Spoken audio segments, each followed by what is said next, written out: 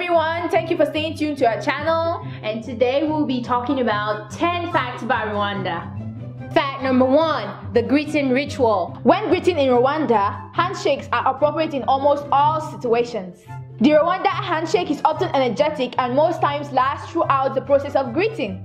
In fact, in certain situations where a conversation takes place right after the greeting, the handshake lasts throughout the entire conversation. Hey, Madam Okoro!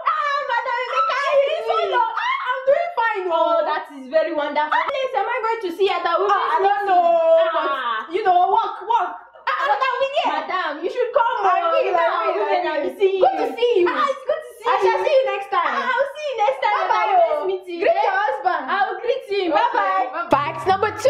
The polite untruth. Rwandans try their very best to avoid hurting others. In fact, in some certain cases, Rwandans would avoid telling the truth if telling it would hurt the person whom they're speaking to. Even though to others this might appear as lying, to Rwandans is being sensitive to that person's feelings. Fact number three, the indirect eye contact. Generally, people prefer indirect eye contact, but this does not mean that they won't look at you directly.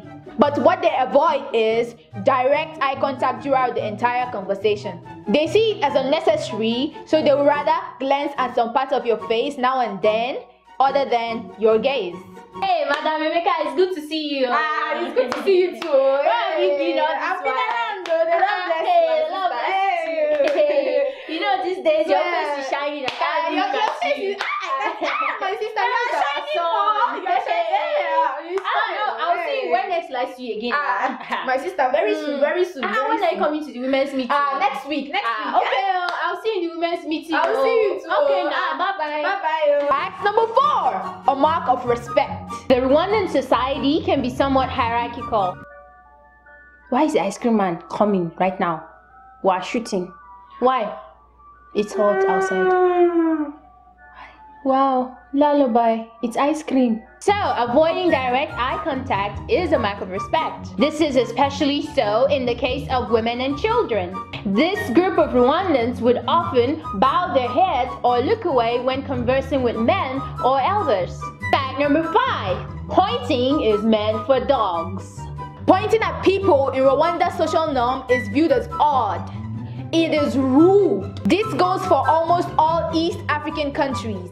If you're pointing at somebody, basically you are calling them a dog. oh. Instead of pointing at the person, you use your whole arm to refer to a person. Oh, um, Yo! receive it. Yo! Uh. Hey, hey, hey, you, you, you, you. Fact number six clothes not to wear. In Rwanda, the way you dress either gives you the respect of an adult or gives you respect of a kid. For example, their outfits that an adult should wear, and shorts are not part of those outfits. In Rwanda, only schoolboys wear shorts, and if an adult is wearing shorts, then basically he's no more sensible than a kid. Don't wear shorts as an adult in the summer in Rwanda. Period. Fact number seven when not to take pictures. Photo taking is not prohibited in Rwanda. In fact, it is very much allowed in Rwanda. But the practice is not without restrictions. Oh yes, there are restrictions. For instance, it is illegal and highly prohibited to take pictures of government buildings. Doing it could lead to serious consequences.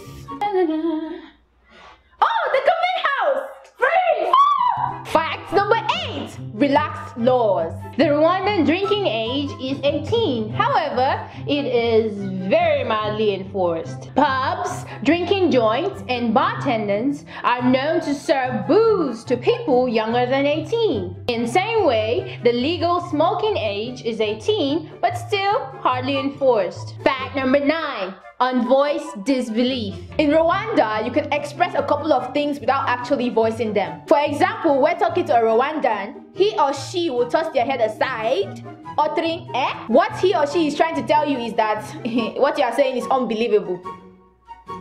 It's not, it's not true. And finally, fact number 10! Boom, boom, boom, boom, boom! Funny food taboos! Apparently, many people are very superstitious. And one of the superstition is in the area of what happens when you eat certain part of a fish. And another has to do with eating green bananas. Rwandans believe that when you eat a fish brain, the devil will come visit you at night. They also believe that if you eat green banana, it will cause your bottom, your butt, butt to grow fast. So for those of you going wanting extra, eat green banana. Hey, I need to eat more green banana. So, hmm, let me go get some. Hmm, this green banana must work. It will work. Ah, ah. hey, eh, this green banana really works though. Ah, can you see? Hey, oh Nikki. Hey, oh, thank you, Jesus. At this time, like say special thank you to Hiwar10 who helped us with the script for this video. Hiwar10 is a fellow YouTuber and is also from Rwanda. Don't forget to check out his channel at Hiwar10 and let him know that I sent you. Thank you again, you were 10. So that brings us to the end of this video and 10 funny facts about Rwanda. Thanks. If you've learned something new, don't forget to subscribe, like, and leave a comment on this video because she definitely has. She got a brand new something. She has a new, she got a learn something something you know with the green bananas so y'all there try the fish brain Go get you some green bananas. bye What she said. what I said.